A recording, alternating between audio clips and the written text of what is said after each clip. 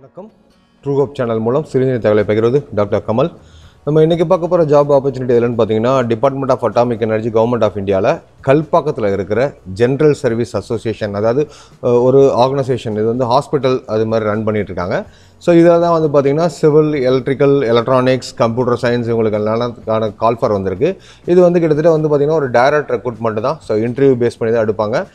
Number of வேகன்சியை base பண்ணி அது change ஆகிறதுக்கு நிறையா வாய்ப்பு இருக்குது ஸோ இதில் வந்து பார்த்தீங்கன்னா என்ன போஸ்ட்டு எவ்வளோ சம்பளம் என்ன அப்படின்றத டீட்டெயில்ஸ் நம்ம பார்க்கறதுக்கு முன்னாடி நீங்கள் நம்ம சேனலை சப்ஸ்கிரைப் பண்ணலாம் சப்ஸ்கிரைப் பண்ணுங்கள் பக்கத்தில் இருக்கிற பெல் ஐக்கானை ப்ரெஸ் பண்ணிங்கன்னா நாங்கள் போடுற வீடியோ நோட்டிஸ் உடனே வரும். இந்த வீடியோ பிடிச்சினா உங்கள் ஃப்ரெண்ட்ஸுக்கு ஷேர் பண்ணுங்கள் யாராவது உங்களுடைய கேரியர் சேஞ்சுக்கு யூஸ்ஃபுல்லாக ஆகுதுன்னா வாய்ப்புகள் இருக்குது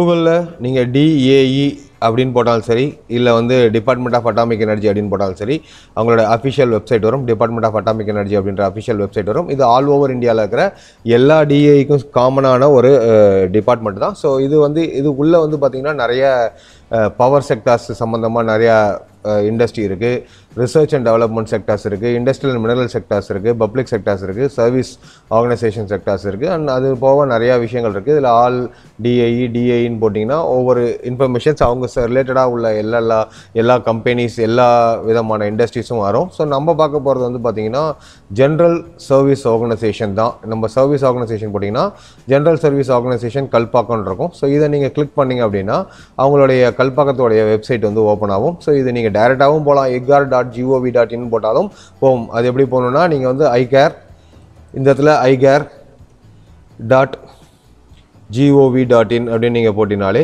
அவங்களுடைய கவர்மெண்ட் இதுக்கு போகும். ஜிஓவி டாட் இன் அப்படின்னு போட்டாலே அவங்களோட அஃபிஷியல் வெப்சைட்டுக்கு டேரெக்டாகவே போகும். ஸோ எதர் நீங்கள் இப்படியும் போகலாம் இந்திரா காந்தி அட்டாமிக் ரிசர்ச்னு போனாலும் சரி இல்லை வந்து நீங்கள் இந்த general service organisation department of atomic energy general service ஆர்கனைசேஷன்ற இந்த லிங்க்கில் போனாலும் சரி நான் இந்த லிங்க் வந்து உங்களோட நம்மளுடைய டிஸ்கிரிப்ஷன் பாக்ஸில் கொடுப்பேன். நீங்கள் அதனால் நீங்கள் ரொம்ப தேடணும்னு அவசியம் இல்லை.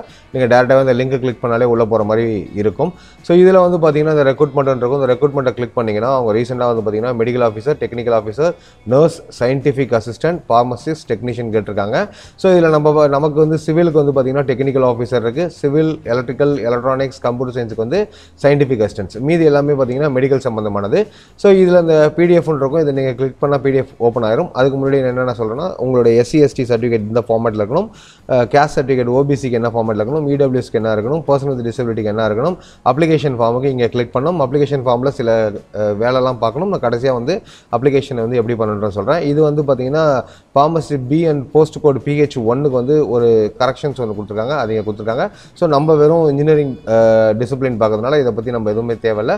நீங்கள் ஸ்ட்ரைட்டாகவே இது இந்த பிடிஎஃப் கிளிக் பண்ணிங்கன்னா அவங்களோட அஃபிஷியல் நோட்டிஃபிகேஷன்ஸ் வந்து உங்களுக்கு டவுன்லோட் ஆகிடும் ஸோ இதான் அவங்க கொடுத்துருக்க அஃபிஷியல் நோட்டிஃபிகேஷன் நான் இதை ஆல்ரெடி டவுன்லோட் பண்ணிட்டேன். நான் ஃபஸ்ட்டு என்னென்னு டிஸ்கஸ் பண்ணுறேன் அதுக்கப்புறம் இது உள்ளே போயிட்டு எப்படி அப்ளிகேஷனை ஃபில் பண்ணுறதுன்றதை நம்ம பார்ப்போம். ஸோ இந்த இது உள்ளே போனீங்க அப்படின்னா government of India department of atomic energy general service organisation Kalpakkam. செங்கல்பட்டில் தான்.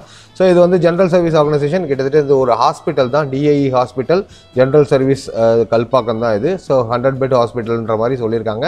ஸோ இதில் தான் வந்து பார்த்தீங்கன்னா இந்தியன் சிட்டிசன்ஸ் ஆல் ஓவர் இந்தியாவில் இருக்கவங்க இந்த இதுக்கு அப்ளை பண்ணலாம் அப்படின்ற மாதிரி சொல்லியிருக்காங்க என்னென்ன போஸ்ட்னு பார்த்தீங்கன்னா ஜென்ரலாக first medical officer MO one MO two MO த்ரீலாம் medical officer MO four வந்து மெடிக்கல் ஆஃபீஸர் டிஓ ஒன் இதுதான் வந்து ஃபஸ்ட்டு நம்ம engineering டிசிப்ளினுக்கான technical officer C C technical officer C civil இது வந்து ஒரு வேகன்சி தான் இடபிள்யூஎஸ்க்குன்னு சொல்லியிருக்காங்க இது வந்து பிஇ பிடெக் படிச்சிருந்தா போதும். சிக்ஸ்டி பர்சன்ட் மார்க் நீங்கள் எடுத்துருக்கணும். எக்ஸ்பீரியன்ஸை பொறுத்த வரைக்கும் ஸ்ட்ரக்சரல் டிசைன் அனாலிசஸ் கன்ஸ்ட்ரக்ஷன் ப்ராஜெக்ட்ஸ்லாம் உங்களுக்கு இருக்கணுன்ற மாதிரி சொல்லியிருக்காங்க அது போக திருப்பி நர்ஸ் எல்லாம் கொடுத்துருக்காங்க. அடுத்தது வந்து பார்த்தீங்கன்னா சயின்டிஃபிக் அசிஸ்டன்ட் பியில் வந்து எலக்ட்ரிக்கல் கேட்ரிங் ஒன்று இருக்குது எலக்ட்ரிக்கல் கேட்டிருக்காங்க. இது வந்து ஒரு வேகன்சி தான். இதுவுமே அன்ரிசர்வ்டு இதில் department of electrical engineering three years SC three years வந்து உங்களுக்கு டுவெல்த்து முடிச்சதுக்கப்புறம் சாரி டென்த்து முடிச்சதுக்கப்புறம் நீங்கள் படிச்சிருக்கணும். அதே மாதிரி சயின்டிஃபிக் அசிஸ்டன்ட் பி சிவில் இதுவுமே ரெண்டு போஸ்ட் மொத்தம் இதில் ஒன்று வந்து அன்ரிசர்வ்டு ஒன்று வந்து எஸ்சி இது வந்து டிப்ளமோ இன் சிவில் இன்ஜினியரிங் அடுத்தது வந்து பார்த்தீங்கன்னா சயின்டிஃபிக் அசிஸ்டன்ட் பி எலக்ட்ரானிக்ஸ் இது ஒரு வேகன்சி இது ஒன்றுமே அன்ரிசர்வ்டு தான். டிப்ளமோ எலக்ட்ரானிக்ஸ் அடுத்தது வந்து சயின்டிஃபிக் அசிஸ்டன்ட் பி கம்ப்யூட்டர் இது வந்து ஒரு வேகன்சி ஆனால் இது எஸ்டிக்கு மட்டும்தான். ஸோ இதில் வந்து பார்த்தீங்கன்னா மினிமம் சிக்ஸ்டி மார்க்ஸ் வந்து பிஎஸ்சி கம்ப்யூட்டர் சயின்ஸ் படிச்சவங்க. அதே மாதிரி டிப்ளமோ இன் கம்ப்யூட்டர் இன்ஜினியரிங் படிச்சவங்க த்ரீ இயர்ஸ் சிக்ஸ்டி மார்க்ஸ் எடுத்துக்கொண்ட மாதிரி சொல்லியிருக்காங்க அது போக மீதி எல்லாமே மெடிக்கல் சம்மந்தமானது தான். அது போக டெக்னீஷியன் சி இது வந்து சானிட்டரி இன்ஸ்பெக்ஷன் இது டென்த்து டுவெல்த்து முடிச்சு அந்த ஐடிஐ சர்டிஃபிகேட் வச்சிருக்கவங்களுக்கு. அதே மாதிரி டெக்னீஷியன் பி ஹாஸ்பிட்டல் சம்மந்தமாக கார்பெண்டருக்கு கேட்டிருக்காங்க. மேசனுக்கு கேட்டிருக்காங்க. அதுக்கப்புறம் பார்த்தீங்கன்னா எலக்ட்ரானிக்ஸ் கேட்டிருக்காங்க. இதில் யாராவது டென்த்து டுவெல்த்து முடிச்சுட்டு சம்மந்தமாக ட்ரேட் சர்டிஃபிகேட் ஏதாவது வச்சிருந்தீங்க ஒரு வருஷத்துக்கு குறையாமல் எக்ஸ்பீரியன்ஸ் வச்சிருந்தீங்கன்னா நீங்கள் தாராளமாக அப்ளை பண்ணலாம். உங்கள் ஃப்ரெண்ட்ஸ் யாராவது ஐடிஐ முடிச்சிருந்தாங்கன்னா அவங்களுக்கு வந்து ரெக்கமெண்ட் பண்ணுங்கள் அது மாதிரி உங்கள் யூனிவர்சிட்டியில் வந்து சிஜிபிஏ ஓஜிபிஏ கிரேட் கொடுத்தாங்கன்னா அதோட கன்வர்ஷன் பர்சன்டேஜ் கண்டிப்பாக போடணும். அதே மாதிரி அதுக்கான ப்ரூஃபை வந்து நீங்கள் கொடுக்கணும். அப்படி நீங்கள் போடலைன்னா அங்கே உங்களை கன்சிடர் பண்ண மாட்டோம் அப்படின்ற மாதிரி அவங்க சொல்லியிருக்காங்க அது ப்ரூஃப் கண்டிப்பாக வந்து டாக்குமெண்ட் வெரிஃபிகேஷன் அப்போ நீங்கள் சப்மிட் பண்ணிட்டுருக்காங்க அதே மாதிரி இந்த போஸ்ட் வந்து MO four SA four SA five SA six அதாவது சிவில் எலக்ட்ரானிக்ஸ் கம்ப்யூட்டர் இது எல்லாத்துக்கும் பர்சன் வித் டிசபிலிட்டிஸ் அவங்க வந்து இதுக்கு அப்ளை பண்ணலாம். அது அப்ளை பண்ணுறப்ப எப்படி இருக்கணும்னா ஒன் ஒன் லேக் ஒன் ஆம் பிடி அப்படின்ற மாதிரி அந்த கேட்டகரியில் இருக்கவங்க அதுக்கு அப்ளை பண்ணலான்ற மாதிரி அவங்க சொல்லியிருக்காங்க. அது போக வந்து மினிமம் மேக்ஸிமம் ஏஜ் அப்படின்னு பார்த்தீங்கன்னா நம்ம மெயினாக இன்ஜினியரிங் பொறுத்த வரைக்கும் technical officer scientific scientific assistant தான்.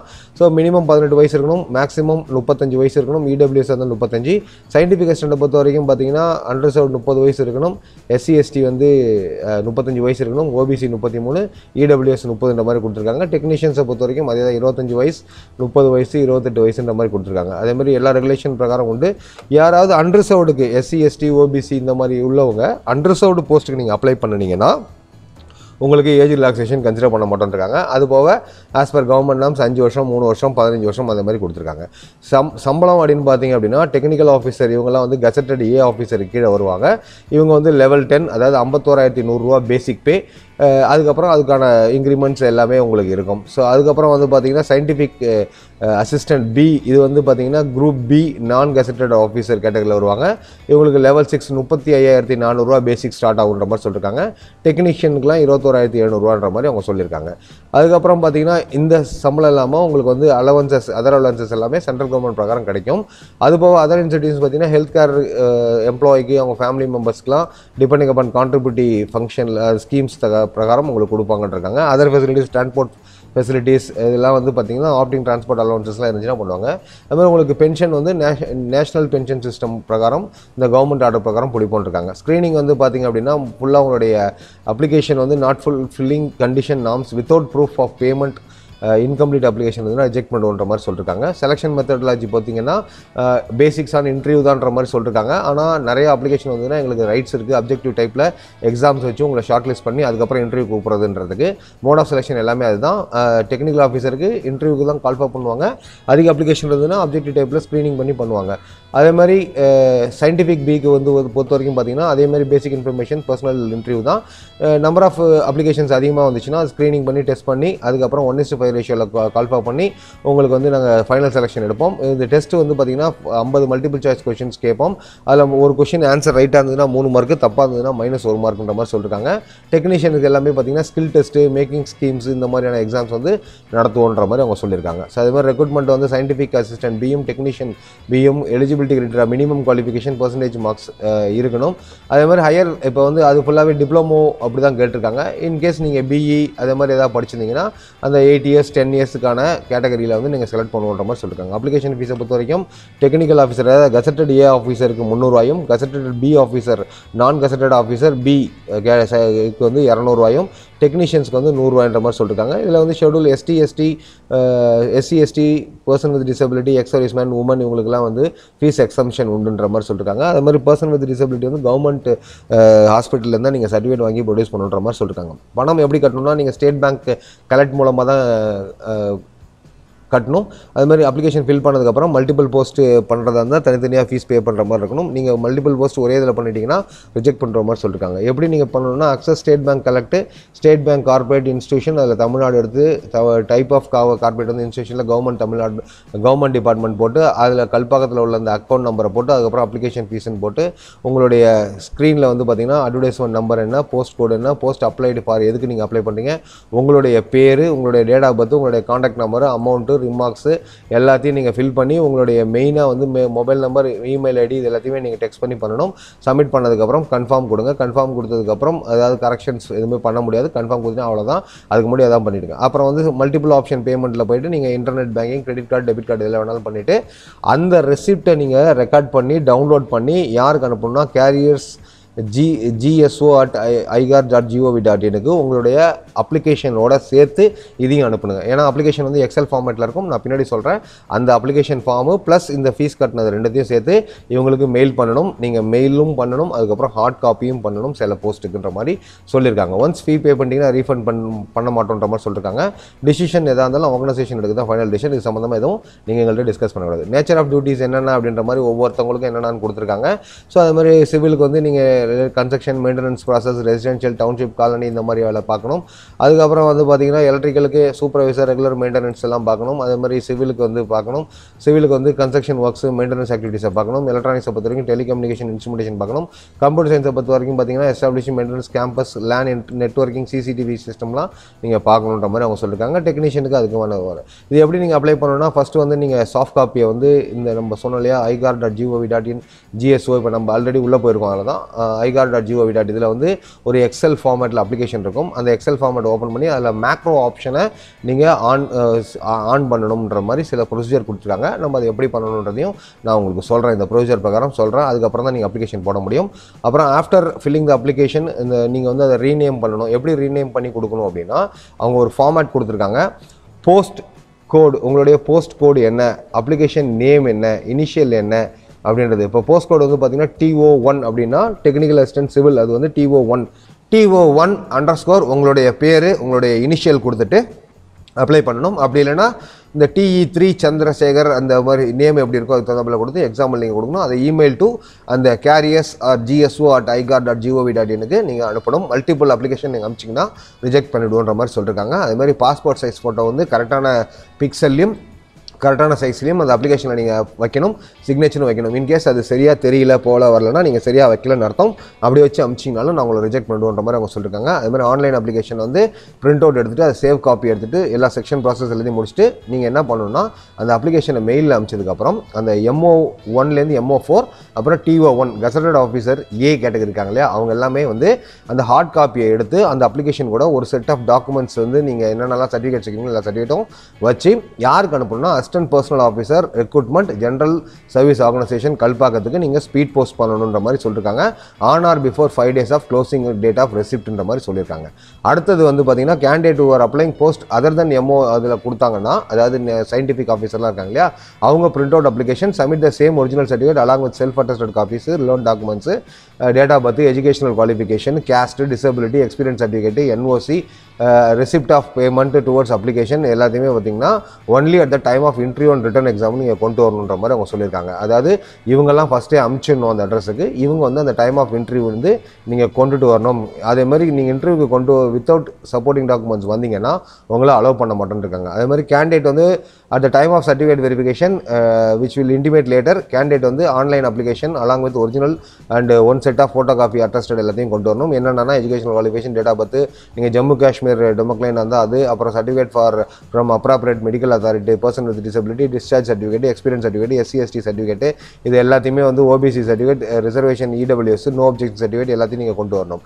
அது மாதிரி கேண்டிடேட் வந்து send soft copy duly application Excel form by email Uh, other formats hard copy of the application except as mentioned serial number 8 above shall not be entertained under any circumstance இந்த மாதிரி சொல்லிருக்காங்க. So அதே மாதிரி எல்லாமே அனுப்பணும். Hard copy applications இது எல்லாமே வந்து நீங்கள் அனுப்பணுன்ற மாதிரி அவங்க சொல்லிருக்காங்க. ஜென்ரல் செக்ஷன் கவர்மெண்ட் செக்டர் அப்படின்னா நோ அப்ஜெக்ஷன் ட்ராவலிங் அலவன்சஸ்லாம் வந்து பார்த்திங்கன்னா செகண்ட் கிளாஸ் கொடுப்போம். Uh, மெயினாக வந்து கெசட்டட் ஆஃபீஸர் ஏ அவங்க வந்து எழுதுகிறவங்களுக்கு அதுவும் எஸ்சி எஸ்டி கேண்டிடேட்டுக்கு மட்டும் தான் கொடுப்போன்ற மாதிரி சொல்லிருக்காங்க. கால் லெட்டர் எல்லாமே வந்து பார்த்தீங்கன்னா உங்களுடைய இதில் பியூராக வந்து professional subject to satisfying prescribe condition இருந்தால் தான் அனுப்புன்ற மாதிரி சொல்லியிருக்காங்க அது போக சில ஜென்ரல் காமன் இன்ஸ்ட்ரக்ஷன்ஸ் கொடுத்துருக்காங்க. அதே மாதிரி போஸ்ட்டு மீ போஸ்ட்டுக்கு அப்ளை பண்ணிட்டா வேலை கிடையாதுன்னு கிடையாது. சில கண்டிஷன்ஸ்லாம் இருக்குன்ற மாதிரி சில கொண்டிருக்காங்க. அந்த non OBC creamy layer non creamy layer creamy layer இருந்ததுன்னா ஆக்சுவலாக அவங்கள வந்து அண்டர்சர்வில் கன்சிடர் பண்ணுவோம். ப்ராபகேஷன் பீரியட் வந்து appointment of probation as per ரூல்ஸ்ன்ற மாதிரி அவங்க சொல்லியிருக்காங்க அதே மாதிரி கேண்டிடேட் வந்து not acquire not educational qualification இல்லைன்னா நீங்கள் நீ நாட் டு அப்ளைன்ற மாதிரி அவங்க சில கண்டிஷன்ஸ் கொடுத்துருக்காங்க. அப்ளிகேஷன் சம்மந்தமாக உங்கள் விசிட் உங்களுடைய வெப்சைட்டுக்குள்ளே நீங்கள் போய் பார்த்துக்கலாம். ஏதாவது கொரிஸ் செஞ்சு இருந்துச்சுன்னா ஒரு ஃபோன் நம்பர் கொடுத்துருக்காங்க. எக்ஸ்டென்ஷன் கொடுத்துருக்காங்க. நீங்கள் அவங்களுக்கு காலைல ஒம்பது மணில சாயங்காலம் அஞ்சு மணிக்குள்ளே ஃபோன் பண்ணி நீங்கள் கேட்டுக்கலாம். அப்படி இல்லைனா ரெக்ரூட் ஜிஓஎஸ்ஓ ஐகார் டாட் ஜிஓவிக்கு நீங்கள் அனுப்பலாம். அதே மாதிரி சேம் இமெயில் ஐடி மொபைல் நம்பரை மினிமம் ஒரு ஒன் இயராவது நீங்கள் மெயின்டைன் பண்ணுங்கன்ற மாதிரி அவங்க சொல்லியிருக்காங்க அதே தான் கன்சிடர் பண்ணுன்ற மாதிரி சொல்லியிருக்காங்க ஸோ இது சம்மந்தமாக ஏதாவது கரெக்ஷன் இருந்ததுன்னா எங்கள் வெப்சைட்டில் போடும் செக் பண்ணிக்கிட்டு இருக்காங்க டிஸ்பியூட்ஸ் எதாவது இருந்துச்சுன்னா சென்னை தான் மெயின் அப்படின்ற மாதிரி அவங்க சொல்லியிருக்காங்க அதே மாதிரி கவர்மெண்ட் வந்து ஒர்க் வித் ரிஃப்ளெக்ஸ் ஜெண்டர் பேலன்ஸுக்காக உமன் கேண்டிடேட்ஸை நாங்கள் என்கரேஜ் பண்ணுறோம் அதனால் உமன் கேண்டிடேட்ஸும் அப்ளை பண்ணுங்கள் அதே மாதிரி வார்னிங் கேன்வாஷ் அதே மாதிரி ஏதாவது இன்வால்வ் ஆனீங்கன்னா கேன்சல் பண்ணுவோம். அதே மாதிரி யாராவது அது வேணும் இது வேணும் பணம் கொடுங்க வேலை வாங்கி தரேன்னு சொன்னாலும் ஒத்துக்காதிக்கிற மாதிரி சொல்லியிருக்காங்க இதான் அவங்க கொடுத்துருக்காங்க. இது எப்படி அப்ளை பண்ணணும்னா அவங்க கொடுத்துருக்க அந்த அப்ளிகேஷன் ஃபார்மில் கிளிக் பண்ணினீங்க அப்படின்னா உங்களுக்கு வந்து ஒரு எக்ஸல் ஃபார்ம் வந்து உங்களுக்கு ஓப்பன் ஆகும். ஸோ இந்த எக்ஸல் ஃபார்மில் வந்து இந்த எக்ஸல் ஃபார்மை இந்த ஃபைல் அப்படின்றத கிளிக் பண்ணிவிட்டு இதில் டவுன்லோட் அப்படின்னு இருக்கும். ஸோ டவுன்லோட் எக்ஸல் ஃபார்ம் அப்படின்றத கிளிக் பண்ணிங்கன்னா அந்த எக்ஸல் ஃபார்ம் வந்து உங்களுக்கு டவுன்லோட் ஆகிடும் ஸோ இந்த டவுன்லோட் ஆன ஃபைலை நீங்கள் அதுக்கப்புறம் ஓப்பன் பண்ணினீங்க அப்படின்னா இந்த ஃபைல் ஓப்பன் ஆனதுக்கப்புறம் நீங்கள் இந்த நோட்டிஃபிகேஷனில் போய் பார்த்தீங்க அப்படின்னா எக்ஸல் ஃபைலில் மேக்ரோ ஆப்ஷனை ஆன் பண்ண சொல்லியிருப்பாங்க. ஸோ இதுக்கு என்ன பண்ணணும்னா நீங்கள் வந்து ஃபைல் மெனுவை கிளிக் பண்ணி ஃபைல் டேப் லெஃப்ட்டில் கிளிக் பண்ணிங்கன்னா எக்ஸல் ஆப்ஷன் இருக்கும். அதில் கிளிக் ட்ரஸ்டன்டர் இருக்கும். அந்த கிளிக் டெஸ்ட்ன்ற வந்து நீங்கள் செட்டிங்ஸில் போய்ட்டு மேக்ரோ செட்டிங்ஸ் லெஃப்ட் பேனல் இருக்கும் அதை எனேபிள் பண்ணணும். எப்படி பண்ணணும்னா இந்த ஃபைல் மெனுவில் போனீங்க அப்படின்னா இந்த ஃபைல் மெனுவில் வந்து எக்ஸல் ஆப்ஷன் அப்படின்ற மாதிரி ஆப்ஷன்ஸ் இருக்கும். ஸோ இந்த ஆப்ஷனை நீங்கள் கிளிக் பண்ணீங்க அப்படின்னா அந்த ஆப்ஷன் ஓப்பன் ஆகும். ஸோ இதில் வந்து நீங்கள் ட்ரெஸ் சென்டர்னு இருக்கும். இந்த ட்ரெஸ் சென்டரை கிளிக் பண்ணிவிட்டு நீங்கள் வந்து இதில் வந்து ட்ரெஸ் சென்டர் கிளிக் பண்ணதுக்கப்புறம் உங்களுக்கு என்ன வேணால் click trust center click trust center செட்டிங்ஸ்னு இருக்கும். ஸோ நீங்கள் செட்டிங்ஸ் அதில் வந்து கிளிக் ட்ரெஸ்ட்ன்ற செட்டிங்ஸை நீங்கள் இங்கே இதுக்கு கிளிக் பண்ணினீங்க அப்படின்னா இது ஓப்பன் ஆகும். ஸோ இது ஓப்பன் ஆனதுக்கப்புறம் என்ன பண்ணணும் அப்படின்னா லெஃப்ட்டில் வந்து மேக்ரோ செட்டிங்ஸ் லெஃப்ட் பேனில் இருக்கும். அப்புறம் செலக்ட் எனேபிள் இருக்கும். ஸோ இதில் லெஃப்ட்டில் வந்து மேக்ரோ செட்டிங்ஸ் இருக்கும். இந்த மேக்ரோ செட்டிங்ஸை கிளிக் பண்ணிங்கன்னா எனேபிள் மேக் ஆல் மேக்ரோஸ்ன்னு இருக்கும். ஸோ இதை நீங்கள் எனேபிள் கொடுத்துட்டு எனேபிள் கொடுத்ததுக்கப்புறம் பார்த்தீங்க அப்படின்னா ஓகே அப்படி கொடுத்துட்டிங்கன்னா ஆல் ரன்னிங் அப்ளிகேஷன்ஸ் ரீஸ்டார்ட்ஸ் அது வந்து ஓகே கொடுத்தீங்கன்னா அப்ளிகேஷன் வந்து உங்களுக்கு ரீஸ்டார்ட் ஆகும். ஸோ ரீஸ்டார்ட் ஆனதுக்கப்புறம் நீங்கள் இதில் போய்ட்டு ஒவ்வொன்றா நீங்கள் வந்து அப்ளிகேஷனை ஃபில் பண்ணலாம். ஸோ இதான் அவங்க கொடுத்துருக்க ப்ரொசீஜர் இது வந்து ஒரு நல்ல ஆப்ஷனு இது வந்து ஒரு கிட்டத்தட்ட பார்த்தீங்கன்னா ஒரு சென்ட்ரல் கவர்மெண்ட் ஜாப் தான். ஸோ இந்த வீடியோ பார்த்து இது மூலமாக அப்ளை பண்ணி ஜாப் கிடைக்க. ட்ரூ சேனல் மூலமாக வாழ்த்து தெரிவிக்கிறேன். தேங்க்யூ